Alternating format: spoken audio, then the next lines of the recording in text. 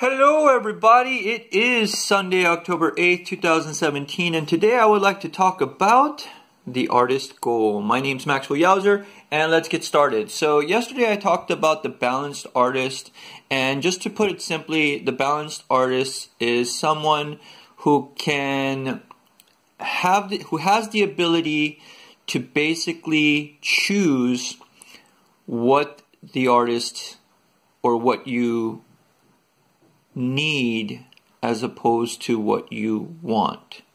So I hope that um, that explains what the balanced artist is. Anyways, that's what we talked about yesterday.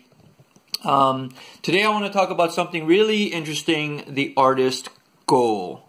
Um, as like I said before, I, I wrote a script because uh, I just don't want to uh, spend too much time on these videos. Make it as quickly as possible. So I'm actually going to read from a script. Uh, I hope you guys don't mind. Here we go.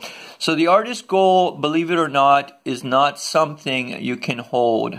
Unlike traditional goals that require proof of completion, such as a trophy, certificate, or even a diploma, an artist's goal is constantly in search of a feeling.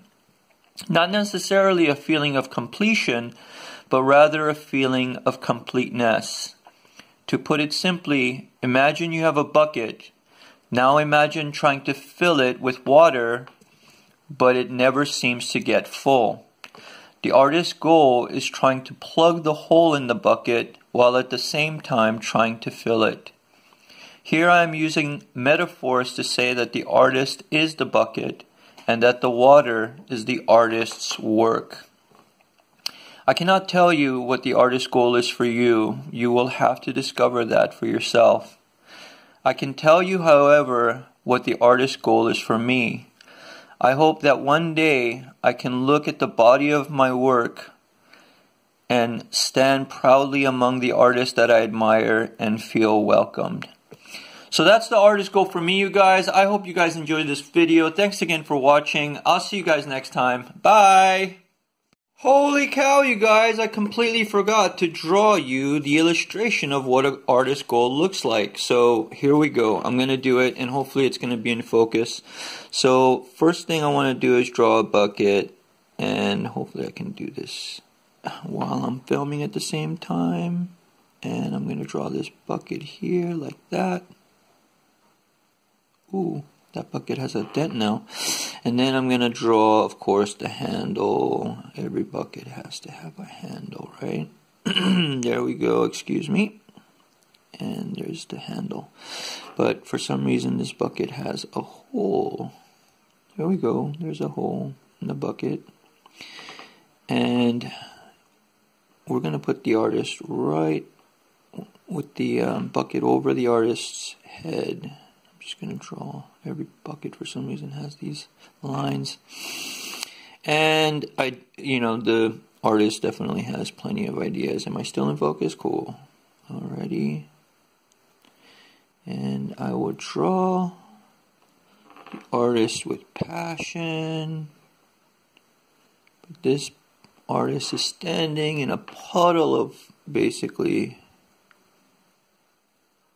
water because that bucket is just pouring water. Oh my goodness. Right? Water's pouring all over.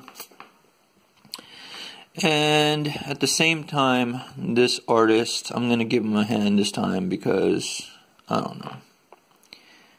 I feel like he needs a hand. Okay? So, we're going to draw him with a water hose. How about that? And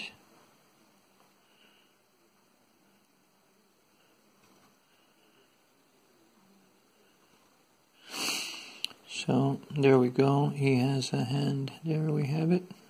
He's got three fingers. and he's basically trying to fill that bucket with water.